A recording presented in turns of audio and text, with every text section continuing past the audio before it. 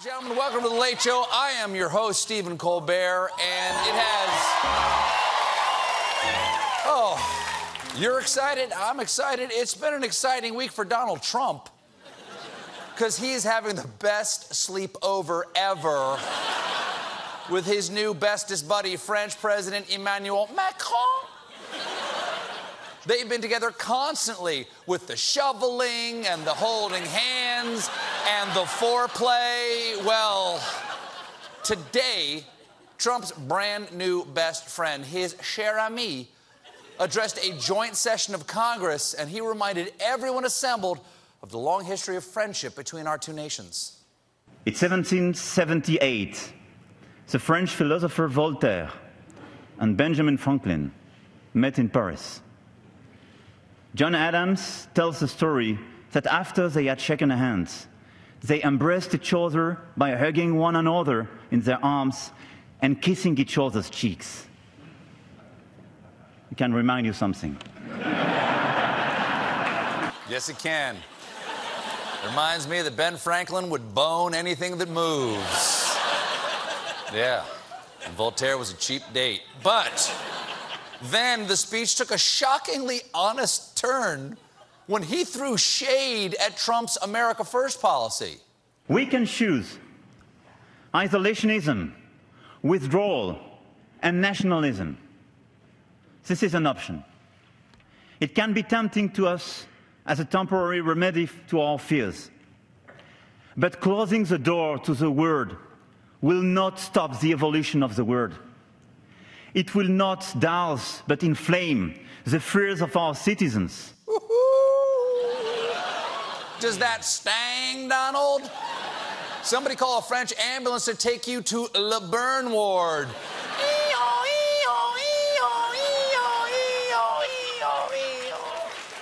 and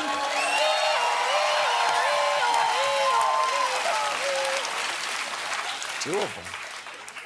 And you know how Macron's BFF Trump has repeatedly said that global warming is a fraud? Well, you know what's the real fraud? Their friendship. By polluting the oceans, not mitigating CO2 emissions, and destroying our biodiversity, we are killing our planet. Let us face it. There is no planet B. Uh, yes, there is. It's called Mars, and Elon Musk is going to fly us there, and we will all be eating Matt Damon's poop potatoes. Okay? Mr. Whip. What you got, Poop Mr. Whip? potatoes. Uh, le pomme de terre. But Macron was optimistic that eventually America would join the rest of the world in fighting climate change. I'm sure one day the United States will come back and join the Paris Agreement. Yes, one day every American will believe in global warming from the shores of Colorado all the way to the beaches of Missouri. From sea to shining. I don't know about this shining sea. And you know how the Iran deal is the worst of all time? Well, guess who likes it? There is an existing framework called the JCPOA to control the nuclear activity of Iran. We signed it, both the United States and France. That is why we cannot say we should get rid of it like that. France will not leave the JCPOA because we signed it. Oh, honey. You think just because America signed something, we won't leave it? Why don't you talk that over with First Lady Ivana Trump? this is a true, true betrayal of Trump because last night, Macron and his wife attended Trump's first ever state dinner at the White House. First Lady Melania Trump planned the entire evening and it looked magical. Congratulations, Madam First Lady. She's getting rave reviews, specifically from our raving president who tweeted, Dat at FLOTUS did a spectacular job hosting the president of France at Emmanuel Macron and his wife Brigitte.